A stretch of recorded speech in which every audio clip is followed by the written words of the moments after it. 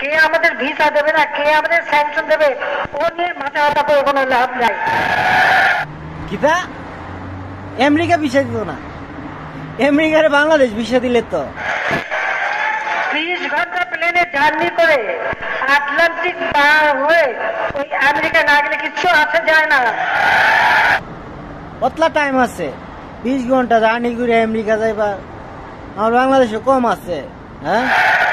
পৃথিবীতে আরও অনেক মহাসাগর আছে অনেক মহাদেশ আছে। সেই মহাদেশের সাথে মহাসাগরে আমরা যাতায়াত করব আর বন্ধুত্ব করব। ঠিক। আমি একমত। আমাদের অর্থনীতি আরও মজবুত হবে উন্নত হবে আরও চাঙ্গা হবে। ঠিক। আমি শেখ হাসিনার সাথে একমত।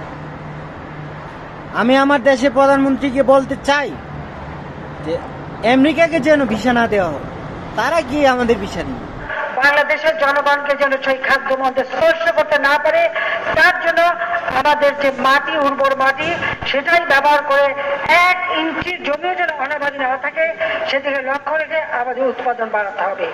আমরা নিজের পায়ে চলবো, নিজের দেশকে আমরা গড়ে তুলবো, কারও মুখোমুখি হয়ে না